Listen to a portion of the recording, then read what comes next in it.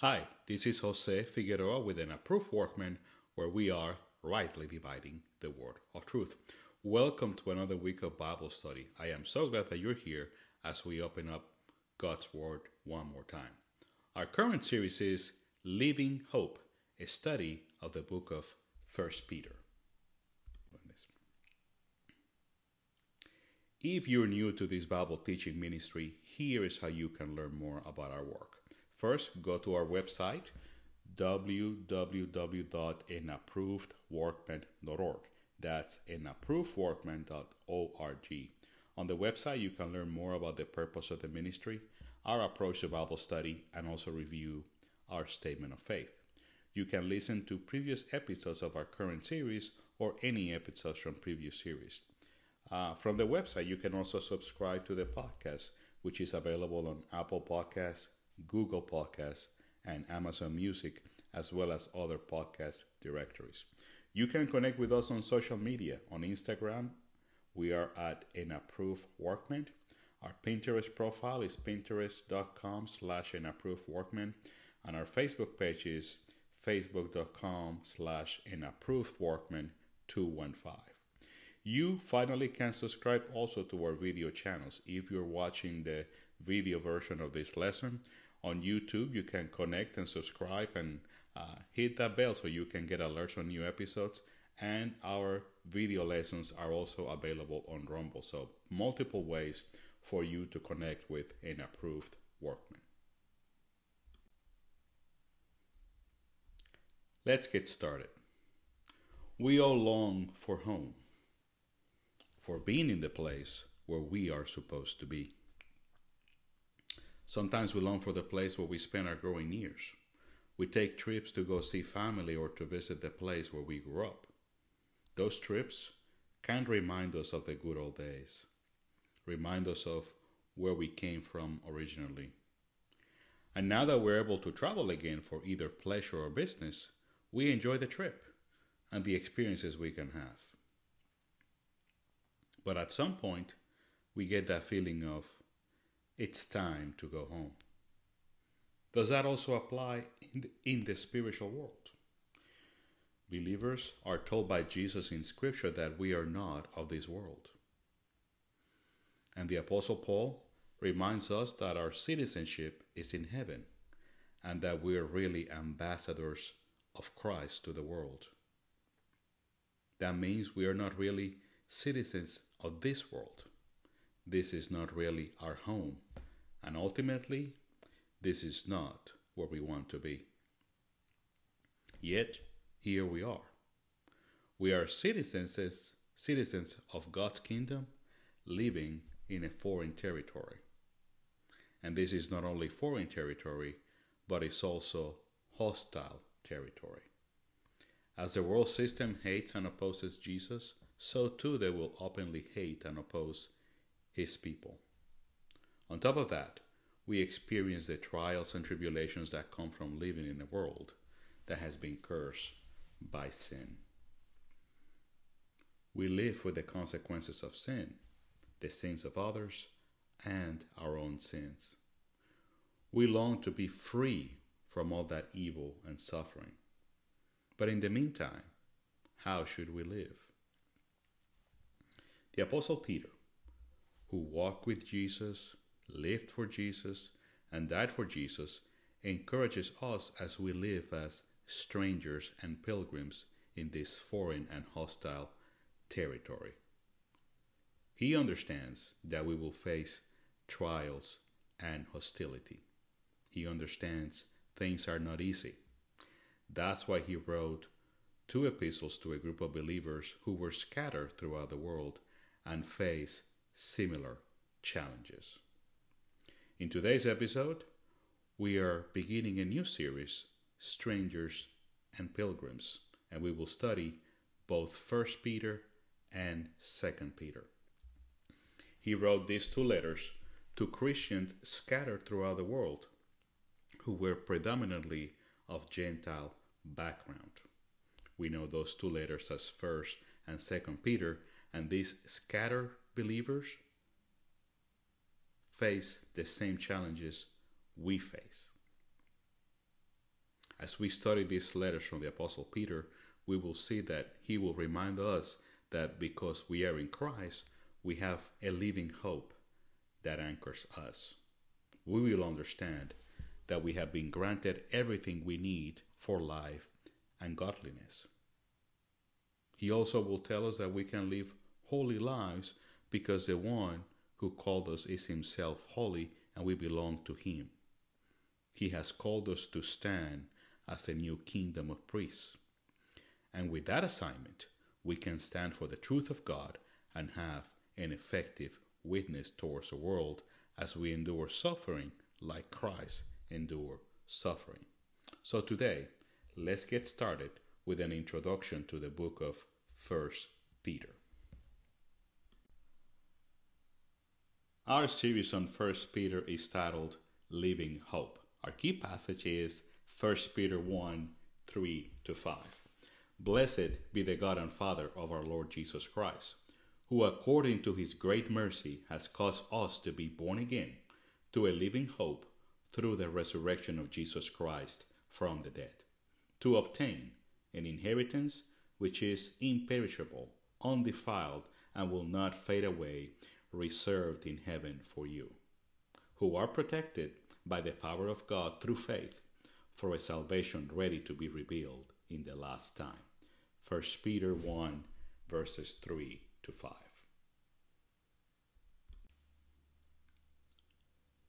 Let's learn a, little more about the author of 1 Peter. Uh, the consensus is that the apostle Simon Peter is the author of both 1 Peter and 2 Peter. He was originally known as Simon, his Greek name, or Simeon in Hebrew. Peter was the son of Jonas, who's also known as John, and Peter was also the brother of Andrew, another one of the twelve, and it was Andrew who introduced Peter to Jesus. The apostle was a member of a family of fishermen who lived in Bethsaida and later in also working in Capernaum. Uh, he was clearly the leader among Christ's apostles. He was their spokesman. He's the one who articulated to Jesus their thoughts and questions. That's why we see him so frequently speaking on behalf of the twelve, asking questions of Jesus. Uh, Jesus renamed him Peter uh, in Greek, or Kephas, Cephas, as we read it sometimes in English, the Aramaic version of that name. Both words mean stone or rock. Peter was part of Jesus' inner circle, along with John and James. And the Holy Spirit empowered him to become the leading gospel preacher from the day of Pentecost on. He opened the door of the gospel to the Samaritans, as we read in Acts 8, and also to the Gentiles in Acts 10, as he met with Cornelius and Cornelius' household, sharing the gospel with them. Peter was martyred via crucifixion during Nero's great persecution around AD 67 and 68. These details uh, come from Dr. John MacArthur in his MacArthur Bible commentary. Let's look now at the scriptural setting for 1 Peter. These notes come from the Ryrie Study Bible by uh, Dr. Charles Caldwell Ryrie. Uh, the letter is addressed to aliens, scattered, or literally the sojourners of the dispersion. Uh, these were Christians who, like Israel of old, were scattered throughout the world, though the readers of this epistle were predominantly of Gentile rather than Jewish background. Their situation was one of suffering and trial, but not because of the empire wide ban on Christianity, since that came later. The sufferings referred to are those that often come to Christians as they live faithfully in a pagan and hostile society. Persecution took the forms of slander, riots, local police action, and social ostracism. The readers are encouraged to rejoice and live above such reproach. The place of writing was Babylon, a symbolic name for Rome, much used by writers who wished to avoid trouble with the Roman authorities. Peter was in Rome during the last decade of his life and wrote this epistle about AD 63, just before the outbreak of Nero's persecution in AD 64. Now let's talk about the timeline of uh, the book of First Peter. Pentecost uh, occurred uh, 30 AD. Uh, it is believed that in 33 AD uh, it was when Stephen was murdered, and also the same time of Paul's conversion. Uh, the Apostle James, the brother of John, was martyred in AD 44. Paul's first missionary journey occurred 47 48 AD the Jerusalem Council, referred to in Acts 15, occurred uh, AD 4950. Uh, the Apostle Paul launched his second missionary journey uh, the years AD 49 through 52. AD 54 is when Nero became the emperor of Rome. Paul's third missionary journey, the last one we have a record of in the scriptures, uh, occurred AD 56 through 58. Uh, in, it was also AD 58 that Romans, uh, the Epistle of Romans by the Apostle Paul, was written. And then Paul was in house arrest, under house arrest in Rome, AD 60 61. Uh, as we mentioned earlier, uh, First Peter was written around AD 63.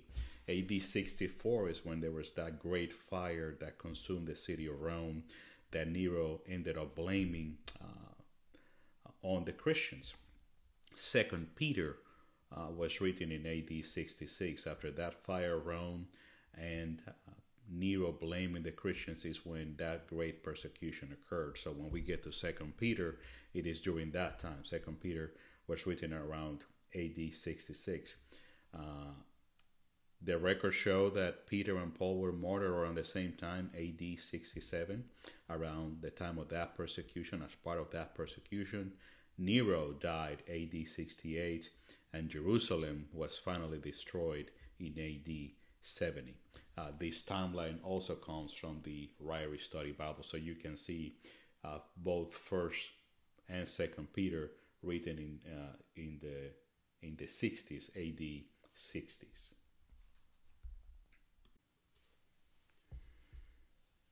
Taking a look now at the geographical setting uh, of First Peter, uh, if you're uh, watching this lesson on our YouTube or Rumble channels, uh, I'm displaying now a map provided by uh, the Gospel Coalition. It will be on the series page for First Peter as well in the the the post for the first lesson. Uh, but First Peter uh, is writing to believers in Pontus, Galatia, Cappadocia, Asia, and Bithynia. These names all refer to Roman provinces in Asia Minor north of the Taurus Mountain. So you can see uh, in the on the map, you can see where these uh, areas are located, where these believers lived, how far they're away from from the home base of Jerusalem. And it's believed that Peter at this time he's in Rome. That's why he says he's writing from Babylon. So he's not there with them. So these two letters, uh, both First and Second Peter, are written to encourage people who are kind of away from the home base, away from the apostle, uh, he knows him, but he's trying to encourage him. But uh, Dr. Chuck, Chuck Swindoll always tells us that is you should get a Bible, a study Bible with maps, and you should always look at maps so you can have an idea what's happening. So uh, hopefully this map provided by the Gospel Coalition will be helpful to you. To have an idea of the structure of First Peter, let's take a look at the content outline. Uh, this is uh, provided by the MacArthur Bible Commentary by Dr. John MacArthur.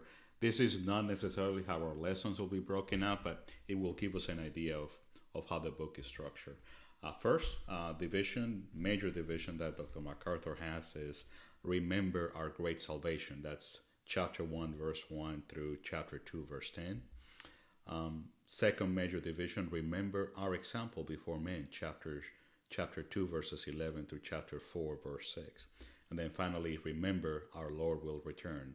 Chapter 4, verse 7 through chapter 5, verse 14. And again, this is how Dr. MacArthur breaks out the content of First Peter uh, in three major sections.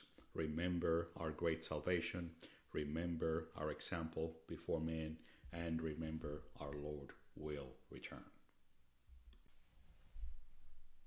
What I'd like to do over the next few moments is share uh, a high level view of the message of First Peter. And as we do in all of our Bible study series, we bring in uh, commentaries, study guides, resources from trusted Bible teachers and preachers, expositors of the Word, students of the Word, uh, to supplement and complement our study uh, as we go forward. And this series will be no different.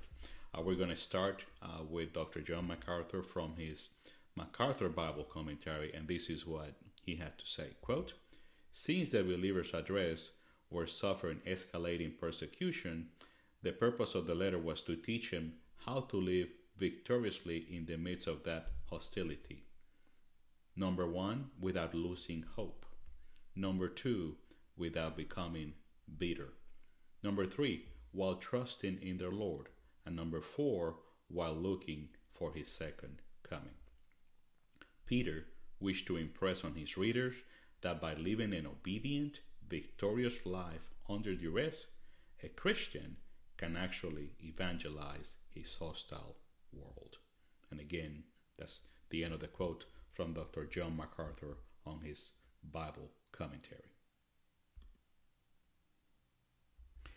Here's what Dr. Tony Evans shares in his Bible commentary on the message of 1 Peter. Quote, Peter wanted believers to know that new birth in Christ gives hope that will aid perseverance in spite of what we go through. Peter blends doctrinal truth about our salvation with practical truth about how it is to be lived out in our various life situations, including in the relationship between husbands and wives. Peter knew about suffering because he had experienced it as a disciple of Christ. But he also learned how to endure it with joy and victory rather than sadness and defeat. In his very helpful book, Understanding the 66 Books of the Bible, Dr. David Jeremiah tells us this about 1 Peter. He says, quote, Simon Peter was one of our Lord's original followers, and he experienced every dimension of discipleship, both good and bad. In 1 Peter, the old fisherman drew from a lifetime of experience to tell us how to conduct ourselves as pilgrims and strangers in the world. Much of this letter is written with suffering in mind, teaching us how to respond when grieved by various trials. We're to commit ourselves to God, to follow in the footsteps of Christ, and to give others an answer for the hope within us. End quote. Dr. R.C. Sproul also wrote a commentary on both 1st and 2nd Peter he titled that, Be All the More Diligent to Make Your Calling and Election Sure. Here's what he has to say about the message of First Peter. Quote, Imagine what it would be like to receive a letter from someone who was a personal friend of Jesus during his early ministry. Beyond that, imagine receiving two letters from such a person. When Peter writes to the church about faith and trust in the providence of God in the midst of suffering, He's speaking not in abstract terms, but from the vantage point of one who has been called personally to endure such sufferings himself. He is one who testifies beyond speculation as one who was an eyewitness, testifying not to cleverly devise myths or fables, but to what he had seen with his eyes and heard with his ears.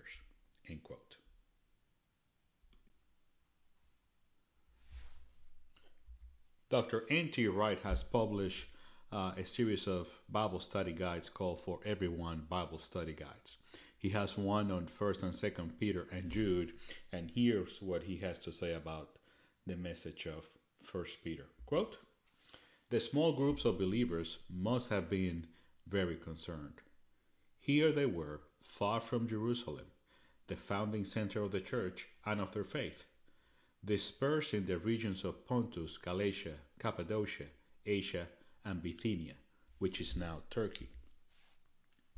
Did the persecution which was increasing mean they were on the wrong road?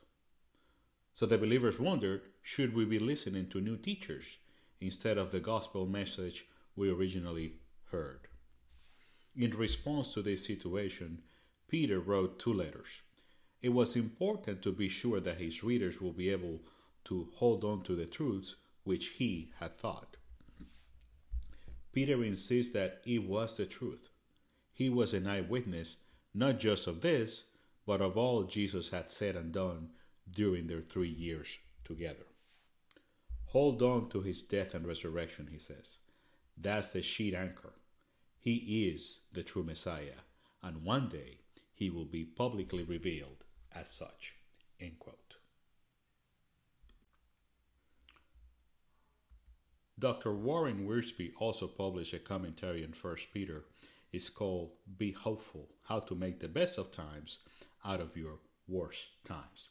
Here's what he had to say quote, Peter wrote this letter to Christians who were going through various trials. The apostle knew that a severe, fiery trial was just around the corner, and he wanted to prepare believers for it. After all, what life does to us depends on what life finds in us. But God's message to us is be hopeful. Suffering leads to glory. I can give you all the grace you need to honor me when the going gets tough. The future is still as bright as the promises of God. So be hopeful. End quote. Finally, let's hear from our friends at the Bible Project on the message of 1 Peter. Here's what they have to say. Quote, Peter offers hope to persecuted Christians and guides them with practical instruction on following Jesus. 1 Peter emphasizes the role of apostles as chosen by God to share his gospel. Because of this, their persecution can actually be seen as a gift because it offers them a chance to show others the surprising generosity and love of Jesus, which is fueled by hope in his return and victory over evil. Peter is hopeful that their imitation of Jesus and demonstration of his upside down kingdom will give power to their words as they bear witness to God's mercy and show people the beautiful truth about Jesus. First Peter gives persecuted Christians a powerful reminder that they have hope in the midst of their suffering. From the time of Abraham, God's people were a misunderstood minority and should expect to face hostility because they live under King Jesus' rule. End quote. Well, this brings us to the close of our introduction lesson to 1 Peter. Thank you for listening today. Next time, we will have our first lesson in our study of 1 Peter, and we will focus on chapter 1. Until then, this is Jose Figueroa for an approved workman, where we are rightly dividing the word of truth. May God richly bless you.